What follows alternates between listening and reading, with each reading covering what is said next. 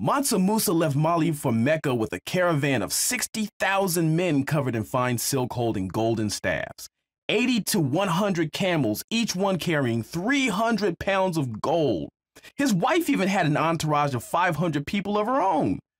Not just that, but as they passed through towns, Mansa Musa and his aides handed out unimaginable amounts of gold to, I mean, pretty much everyone, poor and rich alike. Needless to say, this extravagant show of wealth made Mansa Musa and the Mali kingdom international celebrities. Due to Mansa Musa's generosity, there was so much gold in Cairo, Medina, and Mecca that the value of gold in these regions actually dropped, causing a depression in Cairo, Medina, and Mecca that lasted for over a decade. Yes, Mansa Musa gave out so much money that he broke a national economy.